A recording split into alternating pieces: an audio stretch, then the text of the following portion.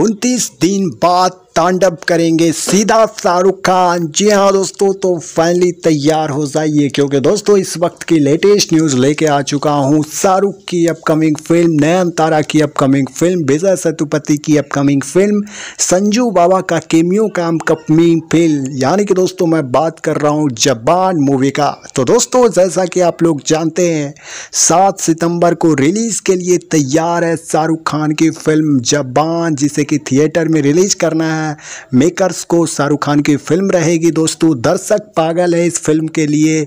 और दोस्तों, इस फ़िल्म का मैं दो अपडेट अभी फ़िलहाल दिया हूँ। एक अपडेट दिया था कि कैसा गेटी गैलेक्सी में इसका हाउसफुल हो चुका है। तीन दिनों के लिए शाहरुख खान की फ़िल्म।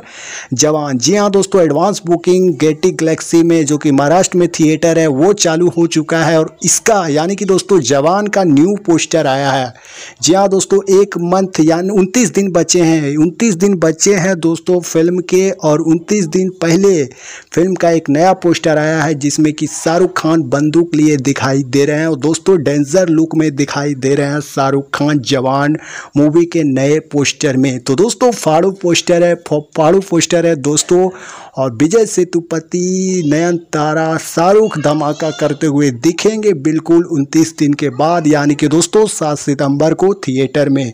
तो दोस्तों, इसका एडवांस बुकिंग का बात करूँ तो गेटी गैलेक्सी में ही एडवांस बुकिंग अभी चालू हुआ है और इसका फ़िल्म का एडवांस बुकिंग तब चालू होगा जब फ़िल्म का पाँच दिन पहले बचेगा। यानी कि दोस्तों, हो सकता है एक सितंबर से एडवांस बुकिंग चालू हो जाए जवान मूवी का। तो दोस्तों, आप लोग कितना ज़्यादा एक्साइटेड हो, जवान मूवी के लिए कॉमेंट के माध्यम से ज़रूर साझा करें।